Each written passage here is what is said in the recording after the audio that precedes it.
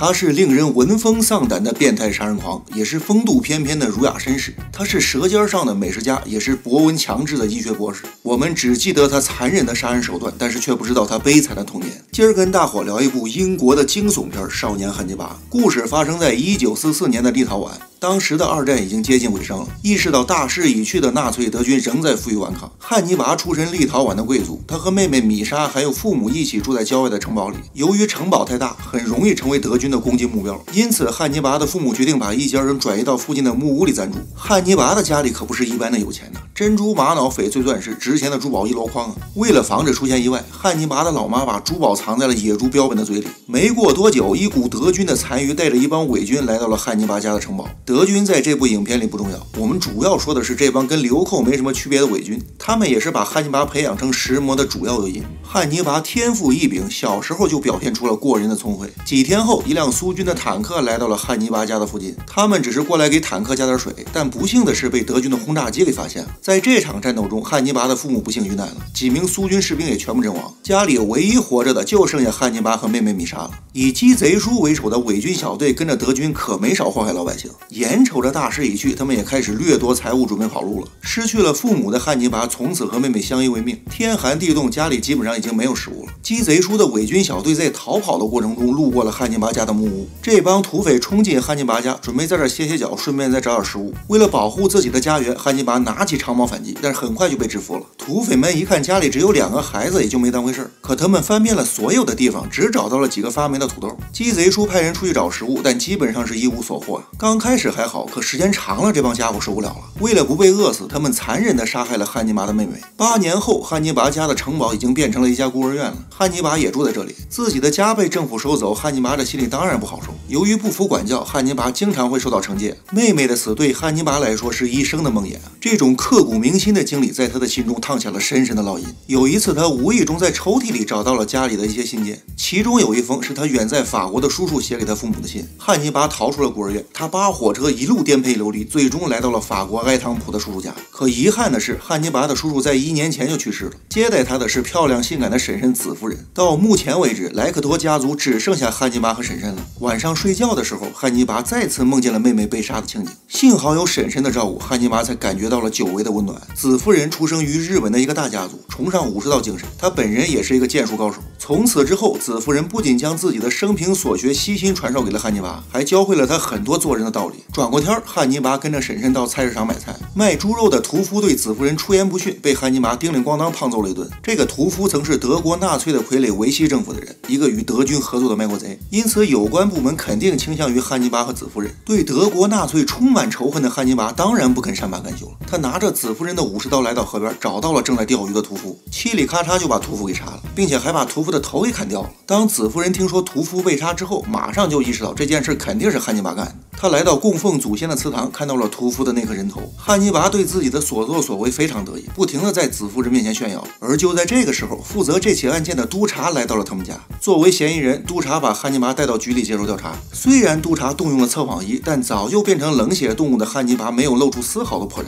作为负责处理战争罪犯的督察来说，他虽然意识到这件事是汉尼拔干的，但从感情上来讲，他也是非常理解，因为在这场战争中，他也失去了自己的亲人。不过一码归一码，即便屠夫该死，那也应该由政府定他的罪。他劝汉尼拔说出真相，但汉尼拔根本不为所动。就在督察审问汉尼拔的时候，子夫人把屠夫的头插在了警察局门口的栅栏上。几天后，有关人员给子夫人送来了一份文件。由于汉尼拔叔叔的遗产税太高了，子夫人根本无法承受，因此有关部门马上就要收回这些房产了。子夫人无奈，只好带着汉尼拔来到了巴黎。来到巴黎之后，汉尼拔进入到圣玛丽医学院学习，并获得了一份奖学金。不过，学院给他的这份奖学金并不是无偿的，汉尼拔必须通过他的劳动获得。他的主要工作就是为解剖课准备尸体，这份工作为他将来的犯罪打下了坚实的基础。一天晚上，汉尼拔去监狱取尸体的时候，刚好遇到督察正在审问一个卖国贼。为了让犯人说实话，督察给犯人注射了一种麻醉剂。这种麻醉剂不仅能让犯人回忆起很多过去的事情，还能让他们说实话。为了回忆起小时候妹妹被害时的情景，汉尼拔偷走了那瓶麻醉剂。晚上，汉尼拔回到家，给自己打了一针麻醉剂，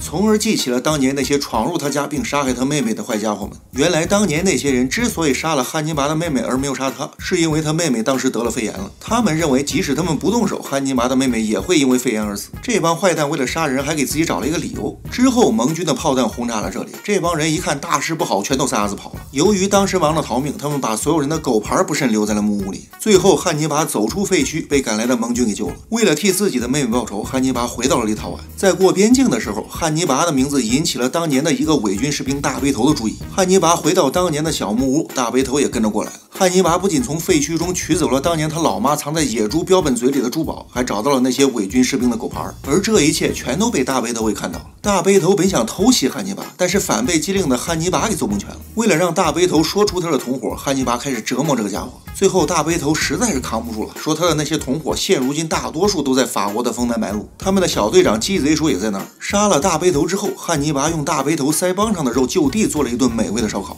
当警察发现的时候，汉尼拔已经回到了法国。大侄子好几天没回家，可把紫夫人给急坏了。汉尼拔也没有隐瞒，把事情的来龙去脉说了一遍。转过天，两人来到了枫丹白露的一家餐馆。这家餐馆的老板小胡子正是当年杀害汉尼拔妹妹其中的一员。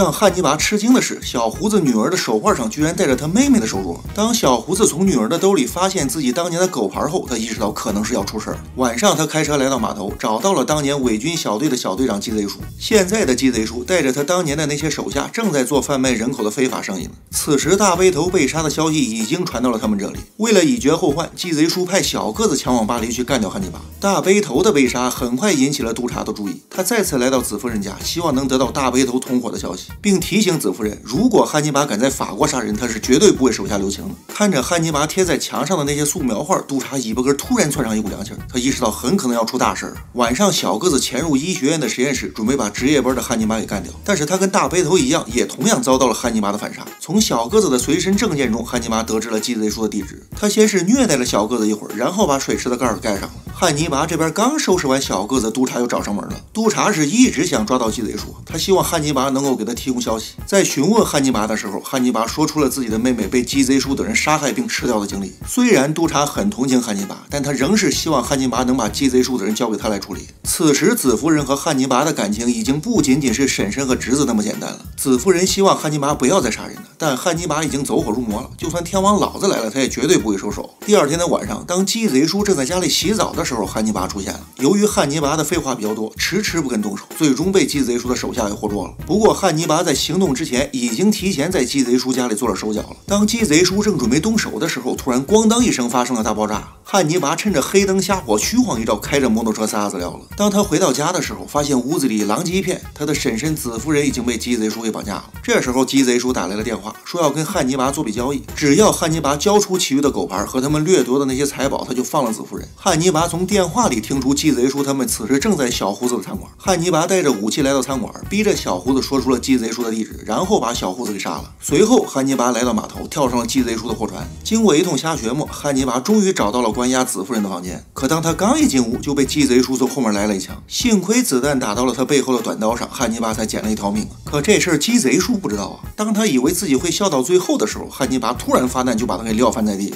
鸡贼叔为了死得痛快点，把他最后一个手下的隐藏地点告诉了汉尼拔。紫夫人希望汉尼拔能把鸡贼叔交给督察，但是被汉尼拔给拒绝了。这时候最残忍的一幕出现了。鸡贼叔说，当时的肉汤汉尼拔也喝了，如果要杀的话，汉尼拔也应该把自己给杀。这句话直接把汉尼拔给击溃了，这也成为了他变成食魔的关键转折点。折磨并干掉鸡贼叔之后，子夫人劝说汉尼拔放下屠刀，今后跟着他好好过日子，但是被汉尼拔再次拒绝了。当督察带着人赶到现场的时候，鸡贼叔的货船已经被炸上了天了。数日之后，汉尼拔来到了加拿大的一个村子，找到了鸡贼叔的最后一个手下，并且干掉了这个家伙。看完这整部影片，我们还是来首唐诗压惊吧。别怪哥的出手重，只因过往太悲痛，欠债必须得还钱，杀人当然要偿命。